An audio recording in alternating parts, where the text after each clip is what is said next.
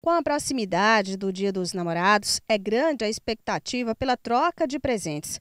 Grande também a expectativa de quem comercializa um dos presentes mais vendidos nesta data, as flores. Dia dos Namorados, realmente, floricultura se dá muito bem, assim, em termos de, de muita visitação, de muita procura.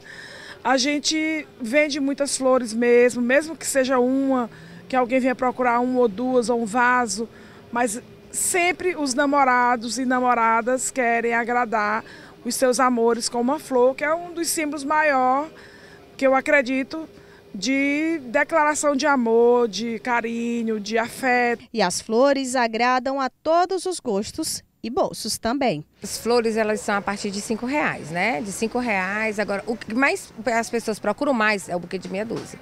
O buquê de meia dúzia hoje custa 70 reais, ele é um dos mais procurados, é um presente muito bacana e não tem, não há mulher que não goste. O Dia dos Namorados é a terceira data mais importante do varejo no país, segundo a Confederação Nacional de Dirigentes Lojistas. E as expectativas dos floristas é um aumento de 18% nas vendas em comparação ao ano passado. Os namorados já estão ligando, perguntando valores.